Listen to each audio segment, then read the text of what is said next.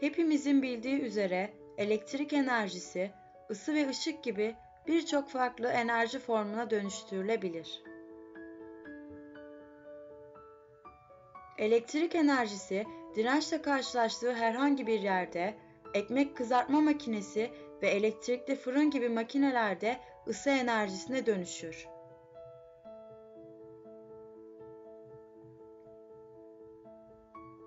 Bu etkinin daha önce de farkına varılmıştı. Ancak neden eşyalar üzerinde gerçekleştiğini kimse bilmiyordu. Bu sırrı çözen ilk kişi yıllardır ünlü bir bilim adamı olmaya çalışan George Simon Ohm'dur.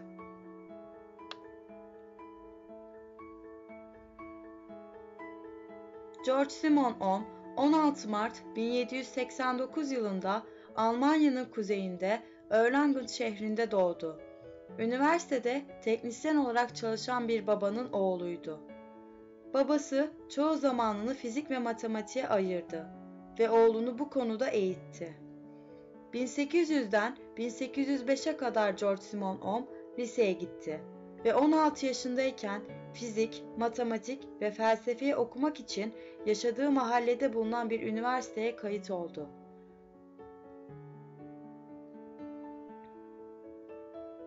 Maddi durumlardan dolayı Ohm bir yıl sonra üniversiteyi bırakmak zorunda kaldı ve İsviçre'de öğretmen olarak çalışmaya başladı. 6 yıl sonra üniversiteye geri dönmeye karar verdi ve 1811 yılında bıraktığı üniversiteye geri döndü. Üniversite yetkilileri onun dönmesini kabul ettiler ve Ohm lisans sertifikasını kazandı. İlk olarak Ohm okulda öğretmen olarak Bamberg şehrinde bir iş buldu. Ama Ohm hayallerini daima yüksek tuttu. 1817 yılında Kalın şehrine gitti ve Jesuit Koleji'nde bir fizik hocası olarak çalışmaya başladı.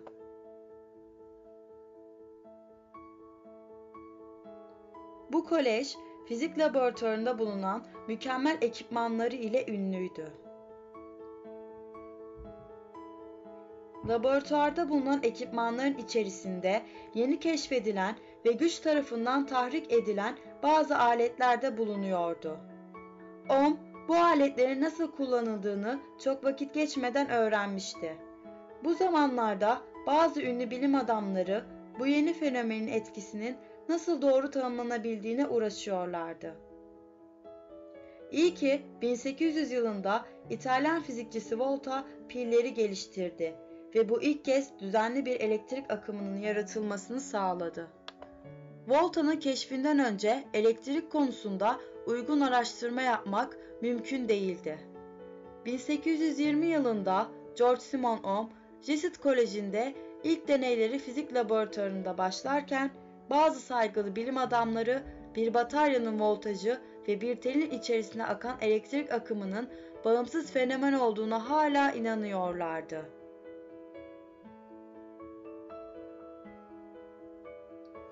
Buna karşın Ohm, bu iki fenomen arasında bazı fiziksel kanunlar tarafından bağlandığına inanıyordu.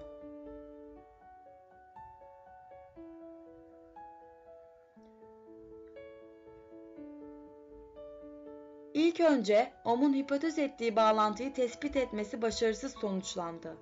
Bunun sebebi Ohm'un kullandığı güç kaynağının volta pili olmasıydı. Bu primitif kimyasal piller kalın tel uçlarına bağlandığında çöküyordu.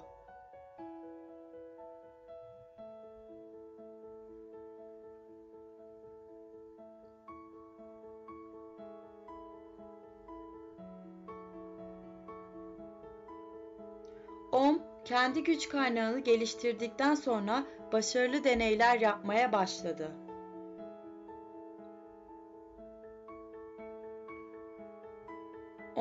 Yeni geliştirdiği güç kaynağı termokapıl denilen bir sistemdi ve bu yeni güç kaynağı alt nalı şeklinde metal parçası ve iki ucuna bakır çubukları bağlanan bir güç kaynağıydı.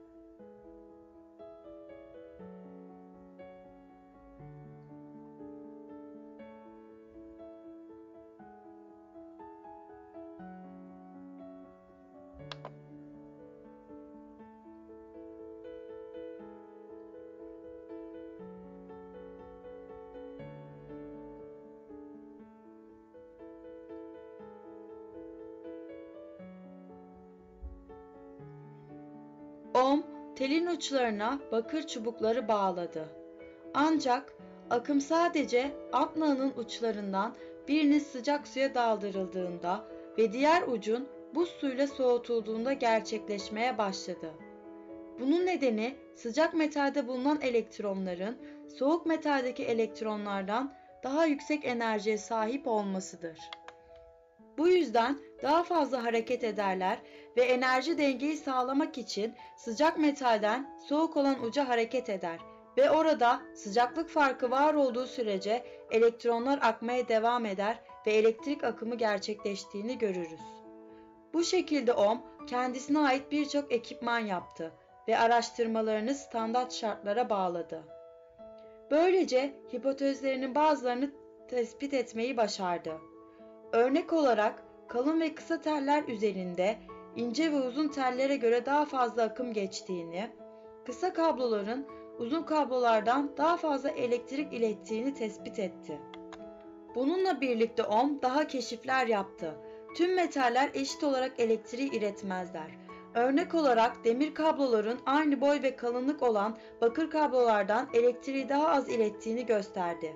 Akımın taşınması yerine absorbe etme özelliğine ohm direnç adını verdi. Bu direnç iletkenin ısınmasına neden olur. Elektronlar teller üzerinde akarken telleri oluşturan partiküllere çarparlar ve çarpma esnasında enerji kaybederler. Eğer çok fazla partikül varsa çarpma ihtimali daha fazla olur ve ısıtma meydana gelir. Bu daha çok direnç var demektir.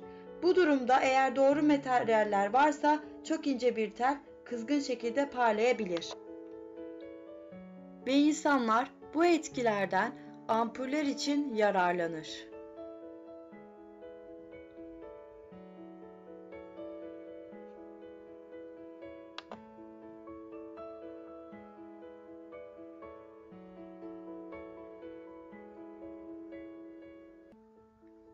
George Simon Ohm bu fenomen için türettiği matematiksel formülü sistematik çalışmalarında sonuçladı.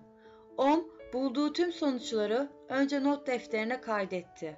Uzunluk, yarıçap, kullandığı materyaller gibi her şeyi kaydetti ve yıllardır çok fazla bilgi kaydettiği için artık yaptığı araştırmalar ve bulduğu sonuçlardan bir formül türetebilmesi için gerekli tüm bilgileri topladı. Ohm bir iletkenden geçen akım ve voltaj oranının daima sabit olduğunu keşfetti ve bu sabit oranı ohm direnç olarak tanımladı. Bugün ohm'un ürettiği formül ohm yasası olarak bilinir ve şu şekilde gösterilir. Direnç eşittir voltaj bölü akım. Bu fenomeni iyi anlayabilmek için su borusuna benzetebiliriz. Akım şiddeti belirli bir sürede bir iletken içerisinde akan elektron sayısını tanımlayabilir ve bu bir su borusu içerisinde akan su miktarı ile benzerdir. Su borusu ne kadar geniş olursa veya elektrik teli ne kadar kalın olursa o kadar su veya elektron geçebilir. Voltaj veya potansiyel fark su borusundaki su basıncına benzerdir. Az voltaj veya az basınç su ya da elektrik akımı olsa da az akım demektir. Yüksek voltaj veya basınç da yüksek akım demektir. Bazen su basıncı düşük olsa da belirli bir süre içerisinde çok yüksek miktarda su akabilir ve bu su borusu çok geniş olduğu zamandır. Burada elektrikte akım çok güçlüdür.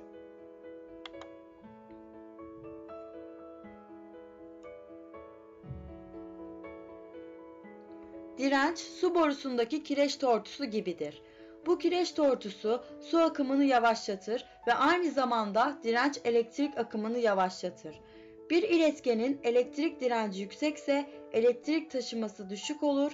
Eğer bu iletkenin direnci düşükse elektrik taşıması yüksek olur. Elektrik denemelerini bitirdikten sonra araştırmalarını devam etmek için 1826 yazında Ohm sabbatikal tatile verildi ve Berlin'de yaşayan bir kardeşine gitti.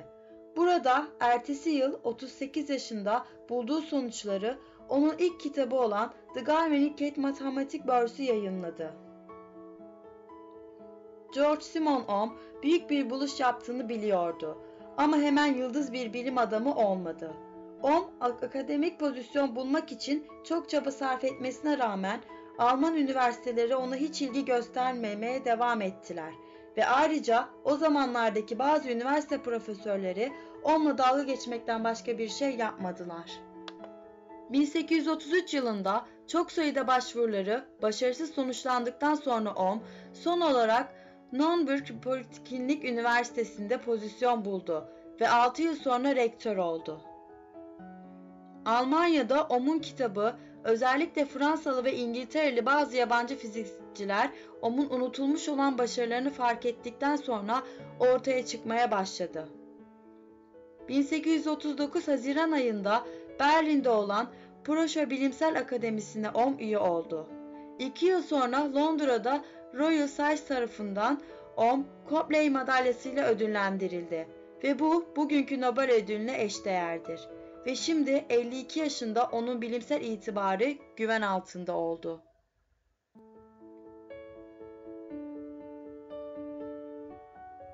Ohm'un bilimsel çalışmaları elektrikle sınırlı değildi.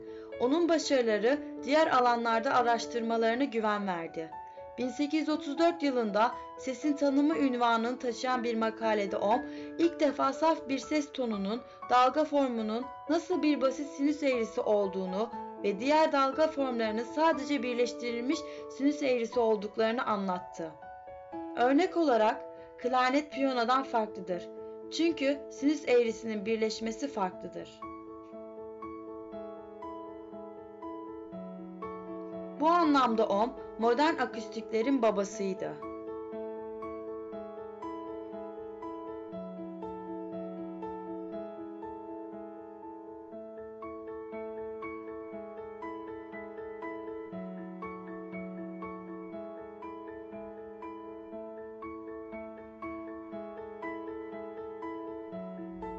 1850 yılında Ohm çok beklediği akademik pozisyonuna kavuştu ve üniversitede profesör oldu.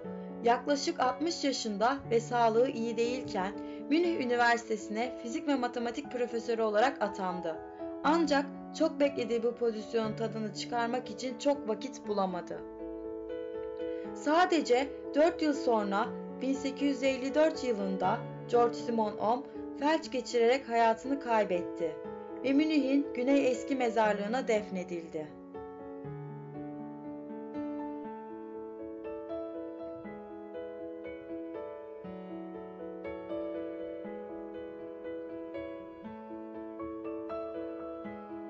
Ölümünden yıllar sonra Ohm'un adını ölümsüz yapacak bir bilimsel onur aldı. 1881 yılında Uluslararası Elektrik Kongresi Paris'te elektrik birim sistemi kurdu. Elektrik akımının birimi amper, potansiyel farka volt, elektrik direnci birimine ise ohm isimleri verildi ve büyük omega harfi kullanıldı.